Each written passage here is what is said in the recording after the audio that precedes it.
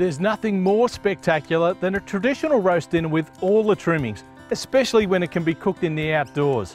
Camp ovens, or Dutch ovens as they're sometimes known as, are just perfect for this style of cooking, especially when they're matched with the Ozpig.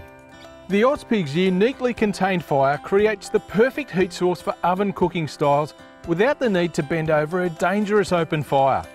The direct flame on the bottom of your oven creates the perfect heat for roasting, baking or perhaps even stewing and simmering sauces. If you're roasting in your oven, the first thing to do is to build up a strong fire to get some heat into the oven so you can start the cooking process. A handy tip is to brown off your meat by adding a small amount of oil to the bottom of your oven and placing your meat directly on the bottom. Turn it often until you have colour on the meat.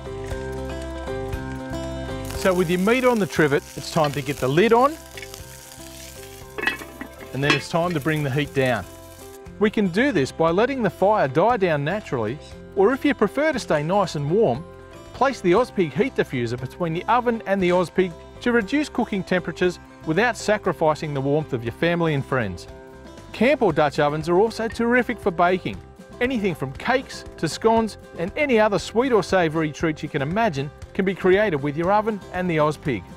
A fire producing moderate heat is perfect for baking in an oven on the Ozpig and with the assistance of a heat diffuser, controlling your temperature is as simple as can be. Depending on the recipe, it may be a great idea to pop a trivet under your cake tin to create space for the hot air to circulate. Browning the tops of your cakes is also easy.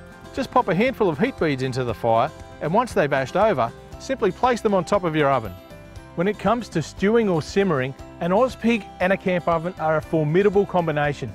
Everything from stews to casseroles and even pasta sauces are all terrific winter warmers and your friends and family, they'll be coming back for more every time.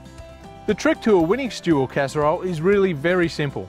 Using a high heat, brown off your meat and veggies and then add your liquids. Bring the liquid to a simmer and then if you need to lower your heat, simply slide your heat diffuser between the Ozpig and the oven.